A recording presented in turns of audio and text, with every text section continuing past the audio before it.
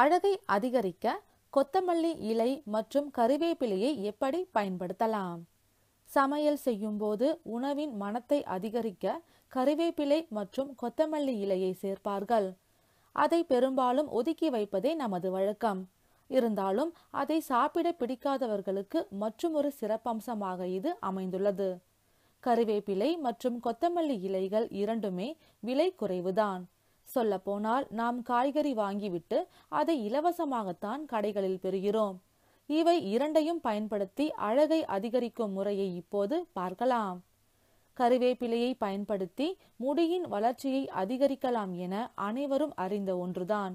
ஆனால் அதை பயன்படுத்தி கரும்புள்ளிகளை முற்றிலுமாக மறைக்கலாம்.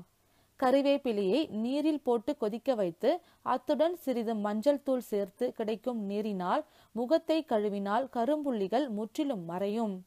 உங்கள் சருமம் வறட்சி அடைந்து காணப்படுகிறதா? அப்படியெனில் கொத்தமல்லி இலையை பசையாக்கி தேன் மற்றும் எலுமிச்சை சாறு கலந்து முகத்தில் தடவி காய்ந்ததும் கழுவினால் சருமம் மென்மையாகவும் ஈரப்பதத்துடனும் இருக்கும். மேலும் இது போன்ற பல பயனுள்ள தகவல்களை பெற இந்த சேனலை சப்ஸ்கிரைப் செய்யுங்க.